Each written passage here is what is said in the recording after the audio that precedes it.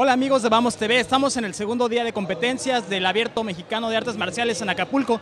Estamos con un campeón de Guatemala, él es Andrés García. Él es campeón en continuo y en... Y en el combate por equipos. Andrés, ¿cómo estás? ¿Cómo has visto la competencia? Muy bien, muy buen torneo, excelente. Se podría decir que es un, un mini mundial porque miro muchos competidores campeones mundiales, entonces es un muy, un muy buen eh, fogueo antes del mundial que hace un par de meses. ¿Notas alguna diferencia entre las artes marciales que has visto aquí de competidores mexicanos, de competidores de Estados Unidos y tal y como lo practican en Guatemala? No, la verdad es de que miro los niveles muy parejos. Eh, México ha subido en los últimos años mucho, mucho y pues yo creo que los niveles entre todos los países se han eh, nivelado. How old are you? I'm 25.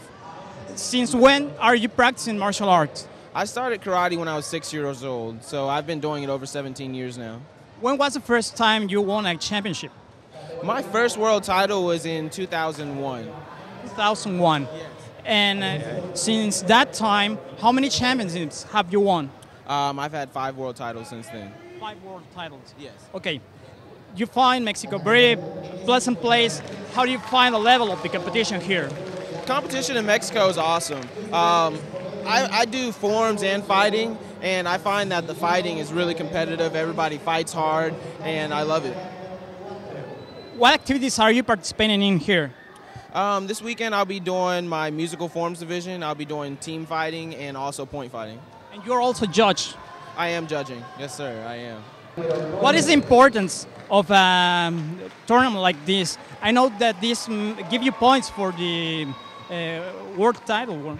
Yes, this is a very uh, big tournament, actually. It's one of the national tournaments. So if you win here, I believe you get about 25 points, uh, which is a lot of points to add up to the Super Grands, which is the World Championship in December.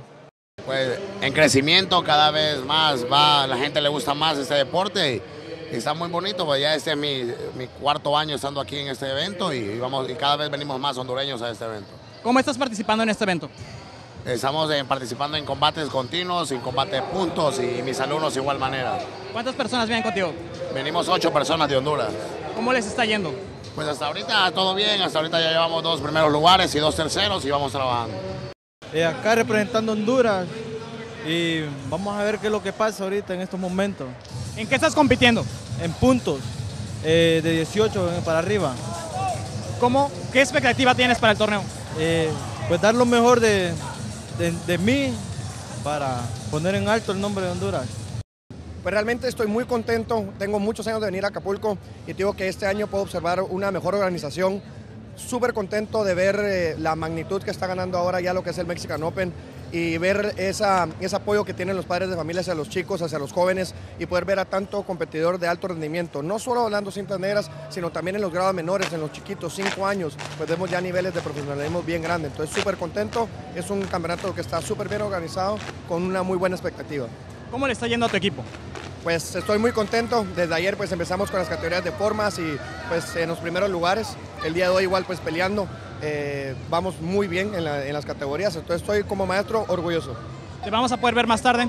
Así es, también de esa es parte. Eh, estoy compitiendo ahorita para ganar puntos a nivel mundial para poder competir y pues estaremos haciendo formas y peleas. Para Vamos Deportes, en la cámara Carlos Pasos, en el micrófono Alejandro Álvarez.